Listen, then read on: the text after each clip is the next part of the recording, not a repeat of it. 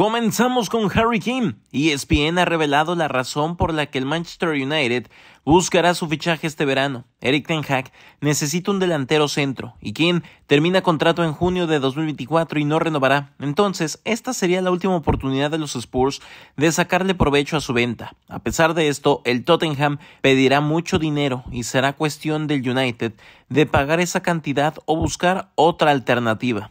Harry Kane ha querido salir desde hace varias temporadas en busca de títulos. El Tottenham ya le negó su salida al Real Madrid, pero confía en poder dar el salto a un club más grande este verano. A sus 29 años ya no es ninguna promesa. Te dejamos la pregunta del día.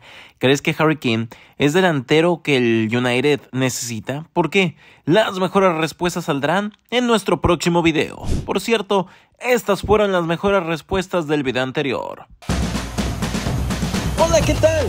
Bienvenido a tu dosis diaria del mejor fútbol. Joan Laporta y el Barcelona podrían anunciar su salida del proyecto de la Superliga. El presidente del Barça se siente traicionado por Florentino Pérez, quien a través de un comunicado decidió atacar al Barcelona por el tema del pago a los árbitros. Esto ha dañado un poco la relación y se espera que Laporta se salga de la Superliga, pero tendremos que esperar para conocer la respuesta final del Barcelona. César Aspilicueta estuvo a nada de fichar por el Barcelona, pero le fue fiel al Chelsea y se quedó. Sin embargo, las cosas han vuelto a cambiar. El defensa del club inglés está decidido a salir del Chelsea a final de campaña y se ha ofrecido al Barcelona. La mala noticia es que ya es tarde. La próxima temporada tendrá 34 años y ha dejado de ser un objetivo del Barça. Xavi no estará dispuesto a fichar a un jugador tan veterano quiere jóvenes para construir un proyecto a futuro. Así que Aspilicueta quiere volver a España, tendrá que buscar otro equipo. El que sí podría regresar es Pierre-Emerick Aubameyang y sobre todo si Ansu Fati termina saliendo. El delantero gabonés jugó 24 partidos con el Barcelona, 18 de ellos como titular y terminó marcando 13 goles, muchos de ellos decisivos. Así que es posible que tenga las puertas abiertas del FC Barcelona. Gabri Viega joven futbolista del Celta de Vigo podría estar en la órbita del Real Madrid según diversos medios.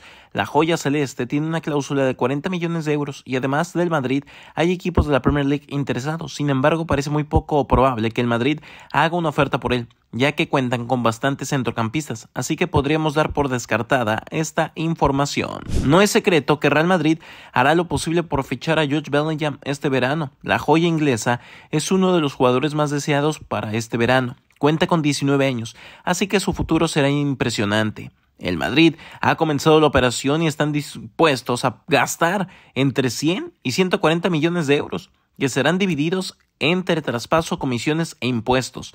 Llegaría a completar el centro del campo junto con Aurelien Chotmeny y Eduardo Camavinga.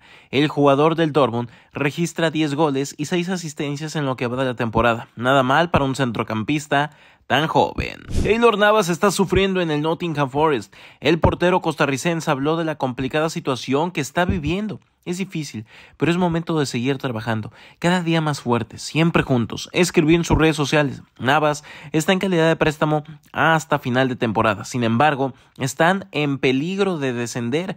Están en el lugar 14, pero solo dos puntos los separan de zona de descenso. Así que deben mejorar resultados para poder permanecer en la Premier League. Avi Simons está imparable. El holandés de tan solo 19 años marcó su gol número 2 el día de ayer con el PSV Eindhoven y ya es el máximo goleador de la Liga de Holanda. La Eredivisie, el joven mediapunta es todo un líder en el PSV y cada vez toma más peso en el equipo.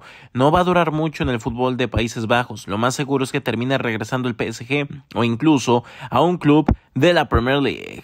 Min Jae Kim es uno de los mejores centrales de la Serie A. El surcoreano está ayudando al Napoli a ser el máximo líder del fútbol italiano. A sus 26 años tiene un valor de mercado de 35 millones de euros. Pues bien, Luciano Saletti, técnico del Napoli, se ha deshecho en elogios.